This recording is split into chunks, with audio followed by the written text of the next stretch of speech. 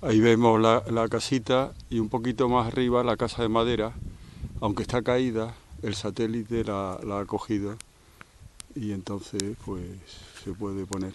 Luego en otra parte hay como dos contenedores eh, que se podrían eh, pues forrar de madera, poner suelo y demás y, y serían como dos, dos casas también o dos mobile home.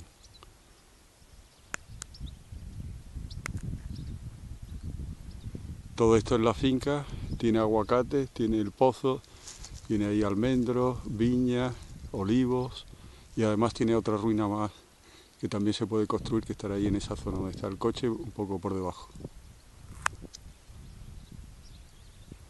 Un sitio muy tranquilo, en plena Sarquía, a 20 minutos de Vélez y 45 de Málaga.